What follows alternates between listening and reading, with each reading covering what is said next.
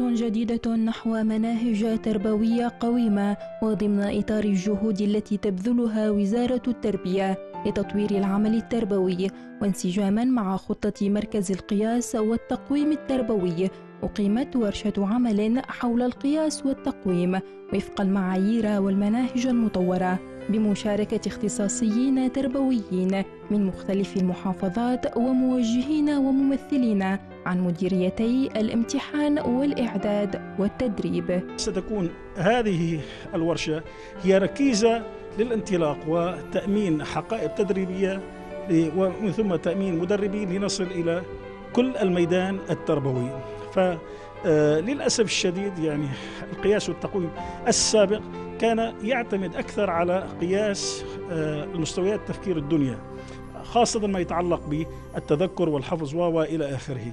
نحن ما نسعى إليه أن تكون مخرج المنظومة التربوية.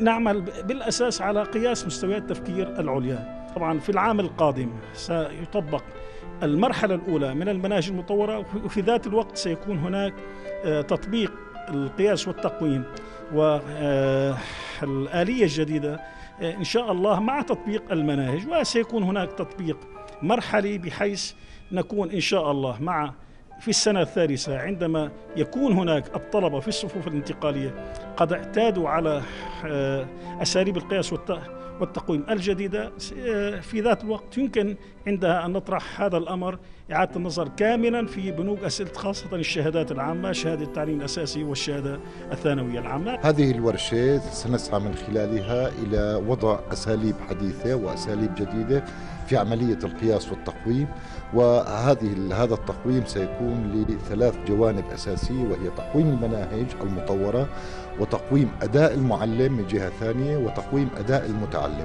وفي سؤال للإخبارية حول مناهج الرياضيات الجديدة وسبل تقويمها للشهادة الثانوية بعد عدة شكاوى قدمت من المعلمين والطلاب على حد سواء. نحن وضعنا الآن خمسة نماذج مع سلالم التصحيح. تم وضعها على موقع الوزارة على مركز تطوير المناهج وفي ذات الوقت لن نقفز قفزة كبيرة في القياس والتقويم التربوي في هذا العام. هذه ناحية. ناحية أخرى الآن من خلال أعلنها لأول مرة طبعا سيكون هناك امتحان نصفي موحد لمادة الرياضيات على مستوى القطر وتم تحديد هذا اليوم أن يكون اليوم الأول من الامتحان الفصل الموحد لجميع مدارس القطر العامة والخاصة.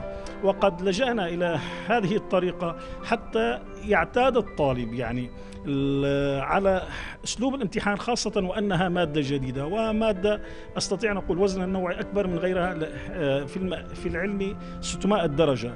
يعني لذا هناك طبعا توجس خوف من قبل بعض الطلاب وأولياء الأمور. أنا أقول الآن ما سمعتوه يعني حول مادة الرياضيات. لن تسمعوه في في قادم الأيام. تأتي هذه الورشة استكمالا لعملية بناء المناهج المطورة وانطلاقا من أن التقويم جزء لا يتجزأ من عملية تطوير العملية التعليمية والتعلمية.